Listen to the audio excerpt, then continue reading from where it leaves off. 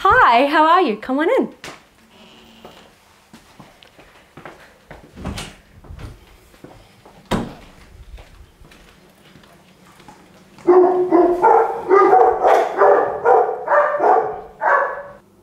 Hi, my name is Wendy. I'm a dog trainer here at Leader of the Pack Pet Services. And in today's video, I'm going to show you a super simple management strategy you can use to calm your dogs down when you have visitors arrive at your home. I have three quite large dogs and they love when visitors come to the house, but they can be very overly enthusiastic with their greeting, which can make it very hectic for people when they first arrive.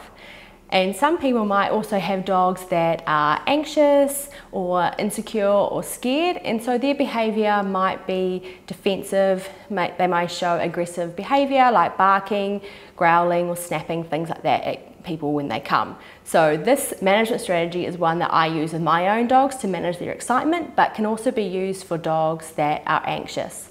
So as I said, I use it with my dogs every time someone comes to our home, and it's also something that I recommend to a lot of my one-on-one -on -one clients.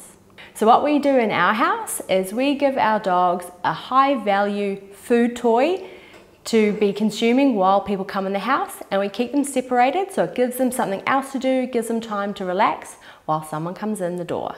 The reason this super simple management strategy works so well be, is because it stops the negative cycle of intense and inappropriate greeting behaviour and replaces it with a calming behaviour instead. Hi, how are you? Come on in.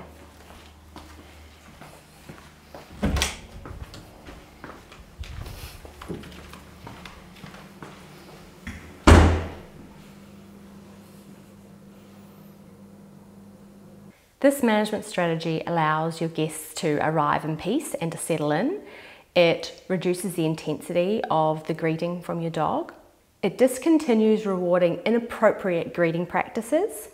It creates a calming alternative instead, and you can also use it as part of a larger plan to desensitize your dog to people coming into the home or work on training them in a more appropriate greeting practice.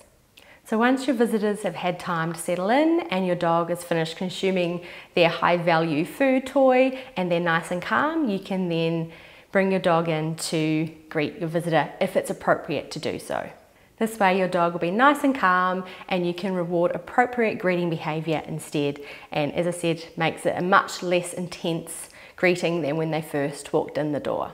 I hope you've enjoyed this very, very super simple management strategy to help your dog when visitors arrive at your home.